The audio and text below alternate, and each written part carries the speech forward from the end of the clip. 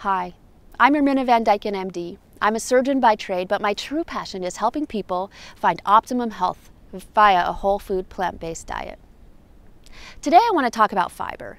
Fiber is not one of those glamorous topics. It's not something that we're excited to talk about and it's not a catchy, trendy thing, but fiber is so important. To me, in fact, fiber is one of the most vital nutrients you need to make sure you get enough of in your diet. Did you know that 97% of Americans are deficient in one single nutrient? That nutrient is fiber. Despite its popular association with frequent trips to the restroom, fiber is no joke. The benefit of a high fiber diet is huge and unprecedented. A meta-analysis study published in 2015 demonstrated a statistically significant association between a high fiber diet and all-cause mortality.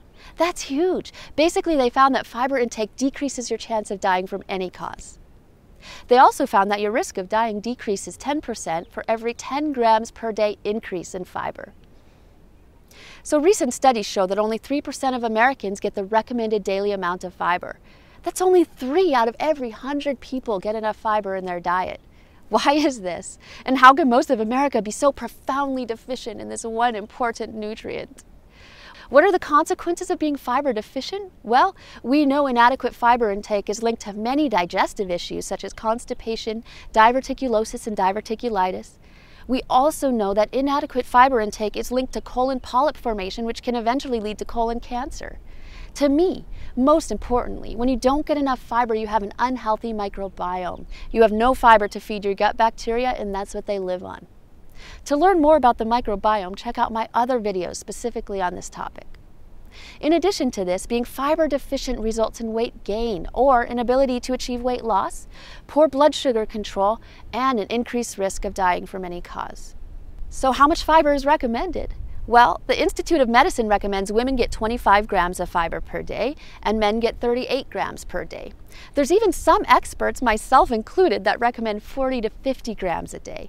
That's a lofty goal, seeing as how the average American gets 15 grams a day. And the average person on a low carb diet, like the Atkins dieter, only gets 10 grams or less daily.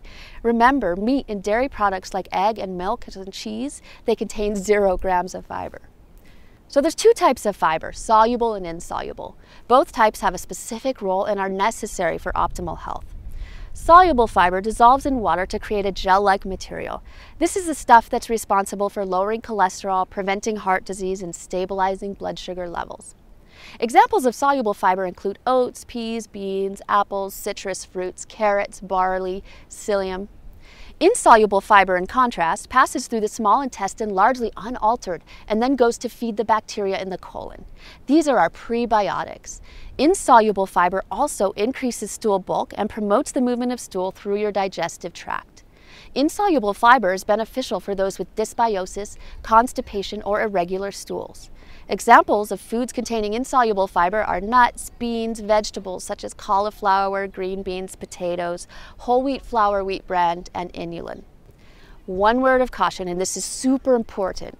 If you watch this video and you make the decision to increase the fiber in your diet, do so carefully. Trust me, you do not want to go from a fiber intake of zero to 40 grams all at once. This will wreak havoc on your gut. Your body and your gut bacteria are not used to processing and fermenting so much fiber. As a result, there's going to be side effects like increased gas, bloating, constipation, and cramping. I recommend you increase your fiber intake by 5 grams per day until you reach your goal. I also recommend you drink plenty of water with that. If you eat a bunch of fibrous food and you have no water for it to absorb, you might as well be swallowing a cork, if you get what I mean. You may be asking, why not take a fiber supplement? Then maybe I don't have to work so hard to achieve my recommended fiber intake for the day. Metamucil, easy, right? Studies show that you lose many of the health benefits when you take a fiber supplement. So always work to get your fiber from whole foods like legumes, whole grains, vegetables, and fruit. So we need quite a bit of fiber daily, and we have to make conscious dietary choices in order to obtain that goal. Are you up to the fiber challenge? Will you work with me to get that fiber daily? I'll be sharing my regimen and how I get my fiber, but I want to know how you get yours. Please let me know what your strategies are in the comments below. Thanks for watching guys, and please check out my other videos on how to get enough fiber, which foods are best for more information on increasing your fiber intake and achieving optimum health. Aloha.